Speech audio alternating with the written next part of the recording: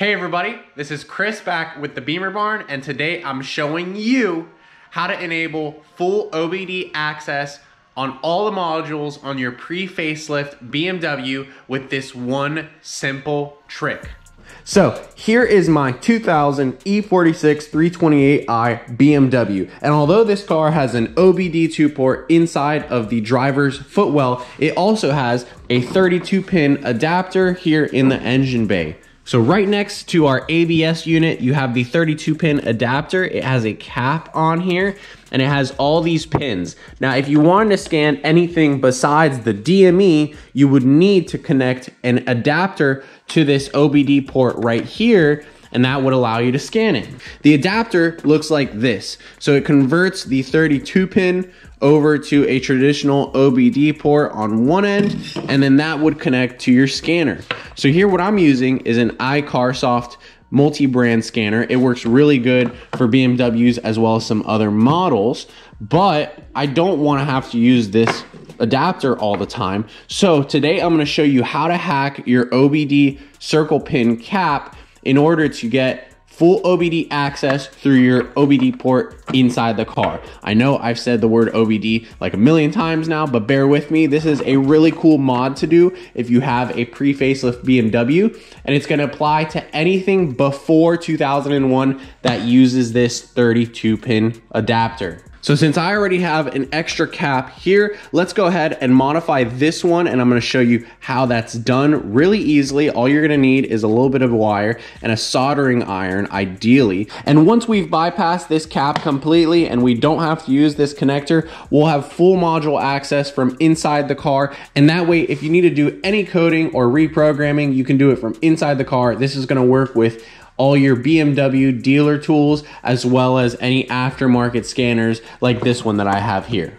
So here we have everything that we need to do our modification, our soldering iron, a little bit of solder. Now here's the cap that we're gonna be modifying. I'd recommend taking it out of the car, and that's as simple as twisting it counterclockwise to loosen it, and then the same thing a few times over to get this, uh, this ring here off. On some cars, obviously, you might find that this is already snapped off. But uh, if you can keep it in one piece, then go ahead and try. Uh, and here is the wire that we're going to use. Any sort of basic wire, um, thick gauge or thin gauge should work. And we're just going to cut off about an inch of wire. That's all you're going to need for this mod. So we're going to get it started here by cutting off, like I said, about an inch of wire. Should be fine right there put that away. And then we're going to go ahead and trim off just about half a centimeter's worth of, uh, of wire on either end. And these are going to touch the posts inside of our cap. So that's that. Like I said, about an inch. And then you can strip off a little bit over or a little bit under, let's say, a centimeter on either end and that is what you're going to use to sort of wrap around or touch the contacts inside of your, uh, your cap here. Now here inside the 32 pin connector, we're gonna have to join 17 and 20. And that's gonna be these two here. So they're the two pins that are just about the furthest apart. They're kind of like the most awkward ones. Um, and we're gonna do a bridge up around the uh, the board here. That's going to allow us to connect this back onto the connector inside the engine bay and have a permanent connection between these two points. Uh, if you wanted to, you could also wrap a little bit of wire around here if you needed something more temporary. Uh, but using solder is going to make sure that the connection doesn't, you know, corrode and get weaker over time or, or move or shift or anything like that.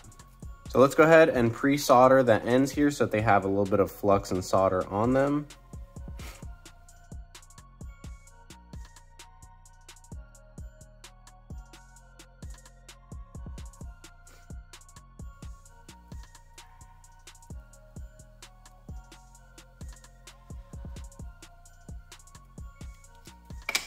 Now we can take our wire and we're gonna go ahead and just place it on top of the pins so that they're touching.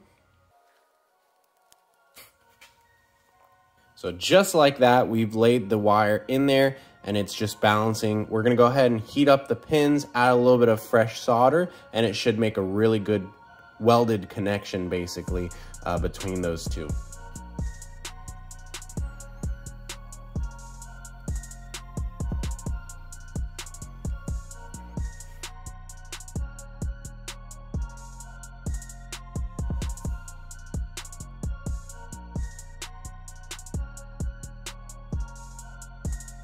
And there's our final product. So the pins are nice and clean soldered on. The wire is flush against the uh, green circuit board and uh, we didn't burn anything. So be careful when you're soldering because you don't want the tip of the solder to you know, hit anything plastic and melt it off. So now let's go inside the car and I'm gonna show you first how this car scans without our modified OBD adapter. And then we're gonna connect this inside the engine bay and I'm gonna show you guys how we can scan all the modules. So I'm on my scanner here and let's go ahead and try our diagnostics. Now this is what would allow us to usually access all the modules on the car, perform uh, you know resets of the oil maintenance intervals and stuff like that. Now I should be able to click this here button and be able to access everything, but it says uh, it's got a problem. It's not connected correctly. And that's because we don't have the bypass connector in. And if we wanted to access all the modules, we would need to use the adapter. Now this scanner also has a generic OBD engine checker. So let's run that really quick and we should be able to see the generic DME codes. Um, and this is because of the uh, universal compliancy that started in 1995 and all that. Um, so should be able to see the engine light and we do have an engine light because our MAF sensor is bad. So bad MAF sensor, that's only one there. But that's how you can see that, you know, with the car on, we can read engine codes, uh, but we can't read any of the other codes for like the radio, air conditioning, uh, anything. All right, now there's no movie magic here. I'm gonna go ahead and disconnect our factory 32 pin connector and we're gonna softly grab this uh, shielding here. So that is successfully removed. We're gonna go ahead and install our modified 32 pin connector here. And this twists right on just like the factory one. Let's go ahead and get inside the car and test our functionality.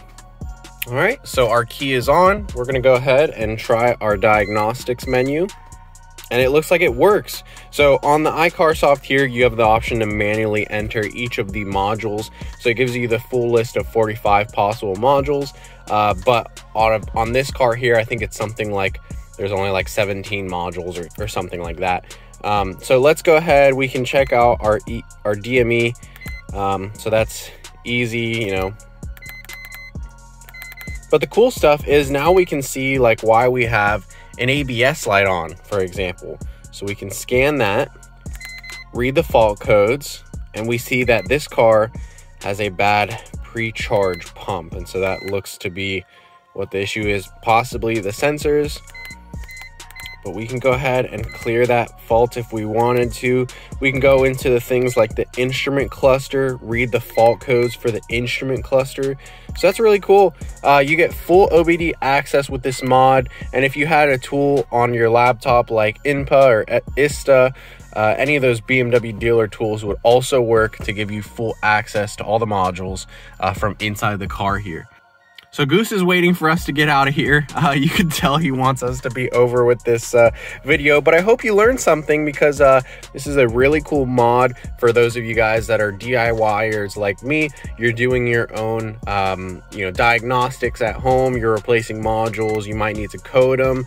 So this is going to work to do all that work from inside the car, and you won't have to buy a separate adapter anymore. So I hope you enjoyed today's video and maybe you learned something. Let me know down in the comments below if you've done this this mod before or if you're going to do it now. Uh, we got a lot more BMW videos like this one coming out, a lot more DIYs and tutorials, little mods like this. So if you want to see more videos like this one, subscribe to the channel. But for now, we will see you next time.